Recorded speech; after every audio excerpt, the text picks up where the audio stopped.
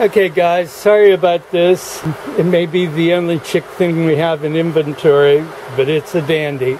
Uh, this is a Burberry's woman's.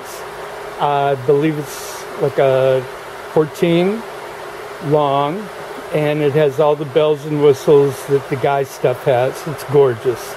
Uh, as you can see, it's got the belt, it's double breasted, it's got this collar, which is cashmere, epaulets, uh, belt around the cuff to keep you warm, pocket buttons so you don't lose your hand grenades.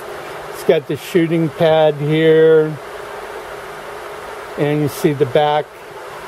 It's got the rain cape to keep the rain falling back here away from you instead of right on you. It's got the single vent in the rear which isn't really a vent, it's a pleat. It never opens up. And it's in pretty good condition, almost new. Okay, as we open this puppy up, we're going to see more and more stuff. Uh, the fabric is uh, a cotton blend. Here's your Burberry um, plaid inside. This is a cashmere lining and it goes all the way around and buttons out and in depending on how hot you need it.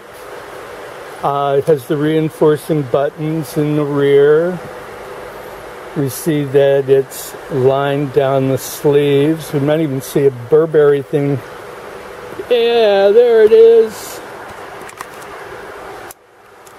Okay, that's sort of there when you can see it. Um, this is the cashmere collar, and you can take it off with a button if you don't want to be cashmered and hot. Um,